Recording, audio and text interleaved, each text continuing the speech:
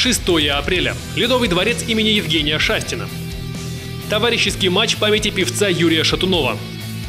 Начало игры в 11.45. Вход свободный. Возрастные ограничения 0+.